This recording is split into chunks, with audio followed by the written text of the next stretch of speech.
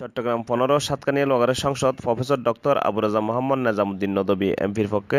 সাতকানিয়া পৌরসভা পশ্চিম ডামসা ইউনিয়নের চার হাজার দুস্থ ও অসহায় অলর মাঝে ইফতার সামগ্রী বিতরণ করা হয়।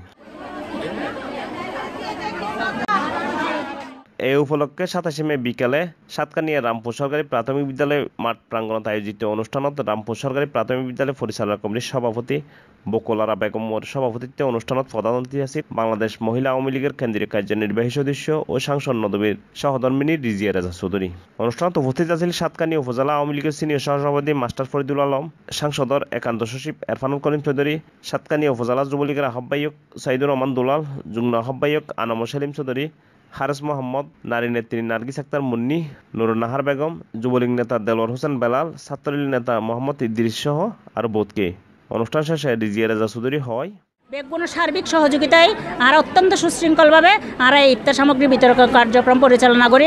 ইনশাল্লাহ আর এই তিরিশ রমজান পর্যন্ত কমপ্লিট এই কার্যক্রম অব্যাহত থাকিব এবং আর সাতখানি লোহাগড়ার অসহায় মানুষসকল সঠিকভাবে ইফতার সামগ্রী, চাল সামগ্রী, বিভিন্ন ধরনের উপহার সামগ্রী এবং নগদ টিয়া এবং তারা যথাযথভাবে তারা ব্যক্তিগতভাবে খরচ করিয়ে তারা সুন- সুন্দরভাবে তারা রোজা রাখিত পারিব।